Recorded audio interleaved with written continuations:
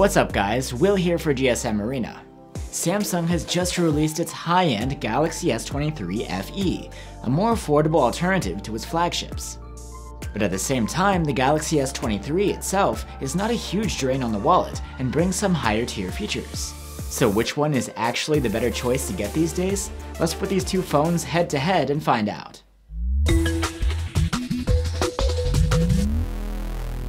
The vanilla Galaxy S23 came out nearly a year ago, in February 2023, but as a flagship it's still quite relevant. Meanwhile, we've gotten our hands on the S23 FE just recently.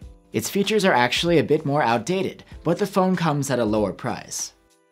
Looks-wise, the two devices are quite similar, with nearly identical designs. You get flat, Gorilla Glass back panels, separated camera rings, and an aluminum frame. But compared to the compact S23, the S23 FE is noticeably larger. It's actually the same size as the S23 Plus, and even heavier. It's worth noting that you get different glass on the two phones. The FE uses Gorilla Glass 5, while the Galaxy S23 has Gorilla Glass Victus 2. Both phones have the same ingress protection though, and are IP68 rated against water and dust. On either phone, you'll find an AMOLED display with a 1080p resolution and a 120Hz refresh rate. The S23 FE's is larger at 6.4 inches versus 6.1. Another difference is that the Galaxy S23 FE has noticeably thicker bezels, which makes for a less premium look. But regardless, both phones' screens are great. They have accurate color calibration and support HDR10 Plus video content. There is a difference when it comes to max brightness, but it's not huge. The Galaxy S23 is the brighter one, able to boost up to 1200 nits. The S23 FE can get up to around 1000 nits. The vanilla Galaxy S23 is also the one with a more adaptive screen, which could save a bit of energy. While the S23 FE can go down from 120Hz to 60Hz when idling, the S23 can go all the way down to 24Hz, depending on what you're doing. You'll find an under-display fingerprint reader on both phones, but the S23 FE's is optical, while the S23's is ultrasonic, and maybe a bit more responsive. Both phones have stereo speakers, and offer nicely rich and deep audio quality. The S23 FE is the louder one though, scoring very good on our charts, versus just good on the S23. You can hear for yourself with the provided link. As you'd expect, since both the Galaxy S23 and S23 FE come from Samsung, they bring the same software package, which at the moment is One UI 5.1 running over Android 13. We expect updates to the UI and the Android versions pretty soon though. If you want to learn more about One UI 5's specific features, you can check out our dedicated video. Maybe the biggest difference between the two phones is the chipset. The Galaxy S23 is powered by the most powerful Android chip on the market right now, the overclocked Snapdragon 8 Gen 2 for Galaxy. The S23 FE, on the other hand, brings an older chipset for the sake of cutting costs. Depending on the market, you'll get a Snapdragon 8 Gen 1 or an Exynos 2200, both of which were found within last year's Galaxy S22 series. As a result, the Galaxy S23 FE is inferior to the Galaxy S23 when it comes to chipset performance. And it's not just the raw benchmark scores, but also the thermal management. You may not feel a difference in your day-to-day -day tasks, but gamers would definitely prefer the S23. Another benefit of the S23's chipset is that it's much more power efficient than the S23 FE's. Even though the S23 FE has the larger battery capacity at 4500 mAh, it performed worse than the S23 across nearly all of our active battery tests.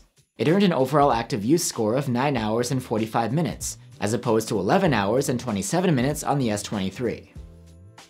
The Galaxy S23 and S23 FE support 25 watt wired charging. Despite the differences in battery capacity, they recharge equally fast, going from 0 to 57 or 58% in half an hour. Both phones support wireless charging and reverse wireless charging too. Now we have the cameras, which are very similar. Both Galaxies have the same 50 megapixel main cam and a similar 12 megapixel ultra wide. The difference is in the zoom camera. While both phones have a 3 times telephoto zoom, the Galaxy S23's is 10 megapixels, while the S23 FE's is 8 megapixels. Daylight photos from the main cameras are equally great, with plenty of resolve detail, high contrast, and wide dynamic range. You get Samsung's vibrant color science too. The same goes for the ultra-wide cameras. The results are very similar between the two phones. There is a lot of resolve detail, low noise, and an impressively wide field of view. The zoomed photos are slightly different though. Both phones upscale the output of their telephotos to 12 megapixels. As a result, the images from the S23 are a bit sharper, as it's going from 10 megapixels to 12, whereas the S23 FE must upscale from 8 megapixels to 12. In low light, with the automatic night mode in effect, both the Galaxy S23 and S23 FE produce basically identical photos, regardless of the camera you're using.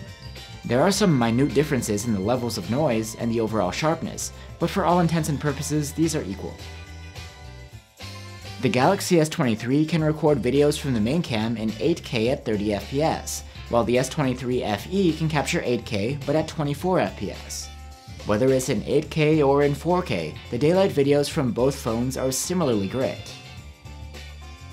But at night, the Galaxy S23 has a minor edge over the S23 FE when it comes to noise reduction.